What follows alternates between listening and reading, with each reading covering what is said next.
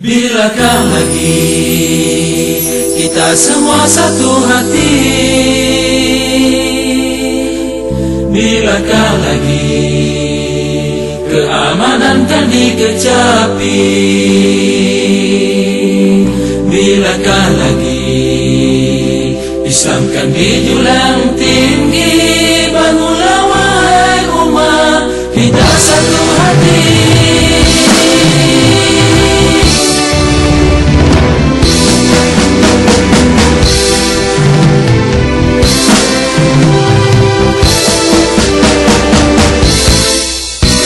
Bilakah lagi kita semua satu hati? Bilakah lagi keamanan kan dikecapi? Bilakah lagi Islam kan dijulang tinggi? Bangunlah wahai umat kita satu hati.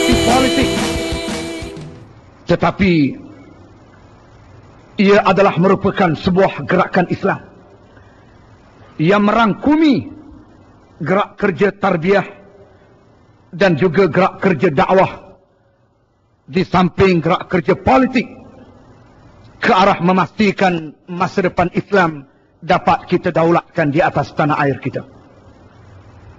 Oleh kerana itu, Dewan Pemuda PAS Pusat merasakan bahawa himpunan yang seperti ini mesti diadakan. Bagi mengembalikan semula roh tarbiyah pada setiap sanubari anggota parti. Terutama di kalangan pemuda-pemudanya. Pentingnya menyemarakkan semula amal terbawi ini ialah supaya kita memiliki kekuatan dalaman dalam usaha kita untuk mencari kemenangan dalam perjuangan yang kita dokong ini. Kita sedar bahawa perjuangan yang kita dokong ini tidak sedikit cabaran yang terpaksa kita hadapi. Sama ada daripada luar ataupun dalam. Yang memerlukan setiap individu di kalangan kita memiliki kekuatan dalaman yang kental. Supaya kita tidak tewas.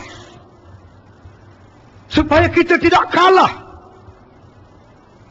Apabila berdepan dengan tahadiat ataupun cabaran-cabaran yang dihadapkan kepada kita. Saudara, apabila kita bercita-cita untuk menegakkan syariat Allah di atas muka bumi ini, UMNO dan Barisan Nasional itu bukan cabaran yang besar bagi kita. Bahkan musuh-musuh yang datang daripada luar, dengan segala perancangan mereka untuk menggagalkan hasrat kita mendaulatkan syariat Allah, bukan menjadi cabaran besar kepada kita. Cabaran yang paling besar ialah datang daripada kelemahan diri kita sendiri.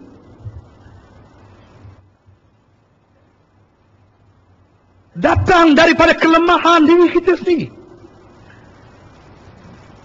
Lemah dari segi akidah. Lemah dari segi fikrah. Lemah dari segi syaksiah. Menyebabkan kita akan gagal untuk mencapai matlamat yang kita sasarkan selama ini yaitu untuk mendaulatkan syariat Allah di atas tanah air kita. Sebab itu kita masih ingat ucapan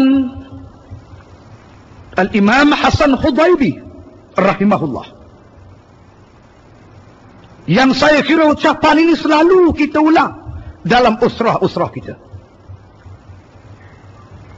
Aqimu daulatan Islam fi qulubikum. Aqimu daulatan Islam fi qulubikum. Taqum ala ardikum. Tegakkan negara Islam itu dalam jiwa kamu, dalam diri kamu. Nescaya dia akan tegak di atas tanah air kamu. Artinya kemenangan yang kita idamkan itu, kemenangan yang kita cita-citakan itu, mesti datang daripada kekuatan kita sendiri. Bukan mengharapkan kelemahan daripada musuh. Maka istimak tarbawi salah satu proses untuk membina dan menjana kembali kekuatan dalaman.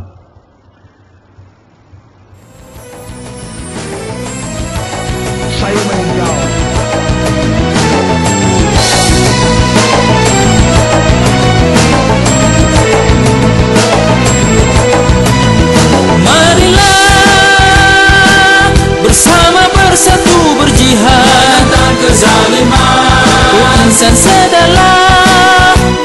Pembalasan Tuhan pasti akan datang. Marilah bersama bersatu berjihad. Kezaliman Oh insan sedalah Pembalasan Tuhan pasti akan datang. Jangan takut,